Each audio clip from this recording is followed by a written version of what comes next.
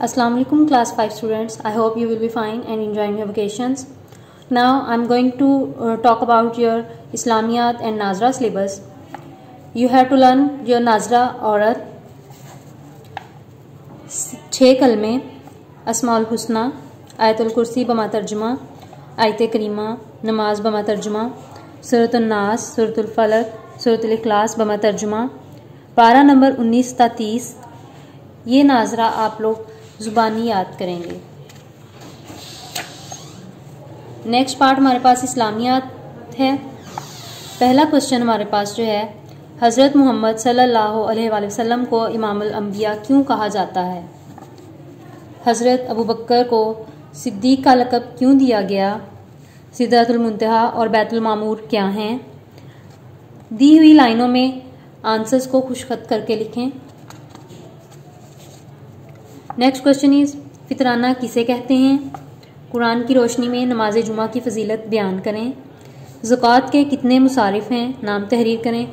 मुसारफ, आपको पता है, जो हकदार होता है ज़क़़त का, जिसको ज़क़़त देनी चाहिए, उन्हें मुसारफ कहते हैं। तो आपने हकदार लोगों के नाम लिखने हैं कि कौन हकदार होता है।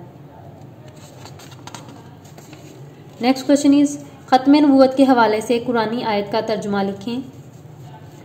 अकीदा आखरत के बारे में एक हदीस नबवी का तर्जुमा लिखें। मिसाक मदीना की कोई सी पाँच शराइत तहरीर करें। गजवा बदर और गजवा अहद के बारे में मुख्तर नोट लिखें।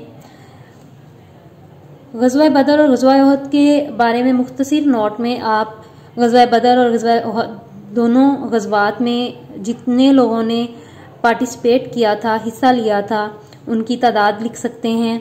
किस मुकाम पे ये गजबात पेश आए, उस मुकाम का नाम लिख सकते हैं। किस रहनुमा की क्यादत में, किस खलीफा की क्यादत में, किस पैगंबर की क्यादत में ये गजबात पेश आए, उनके बारे में लिख सकते हैं। नेक्स्ट क्वेश्चन है, सफ़र में राज में आप सल्लल्लाहु अलैहि वसल्लम की मुख्तलिफ़ आसमानों पर मुख्तलिफ़ अम्बिया कराम से मुलाकात के बारे में आप क्या जानते हैं? आप को पता है, जब हज़रत मोहम्मद सल्लल्लाहु अलैहि वसल्लम सफ़र मराज पे गए थे तो सातों आसमानों पर हज़रत मोहम्मद सल्लल्लाहु अलैहि वसल्लम की तमाम अम्बिया कराम से मुलाकात हुई। तो उस मुलाकात के बारे में आप क्या जानते हैं? हर पैगंबर से मुलाकात के बारे में जो आप जानते हैं, वो यहाँ पे लिखें नेक्स्ट क्वेश्चन इज़ आयतुल कुर्सी का तर्जुमा व फ़जाइल खुशखत तहरीर करें। Thank you for watching our video I hope you will be enjoying your vacations Have a good time. Spend your vacations with your family and your friends.